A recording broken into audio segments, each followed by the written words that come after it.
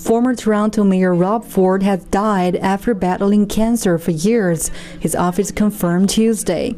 The 46 year old sitting Toronto City Councillor had been undergoing treatment for an aggressive form of cancer that had reoccurred despite surgery and several rounds of chemotherapy.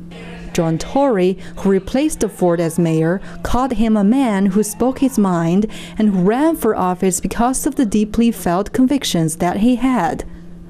Ford was a popular mayor, but with a troubled life. He faced a growing number of controversies related to drug use, public drunkenness, and racist and sexist comments. Such scandals of smoking crack cocaine made him international headlines.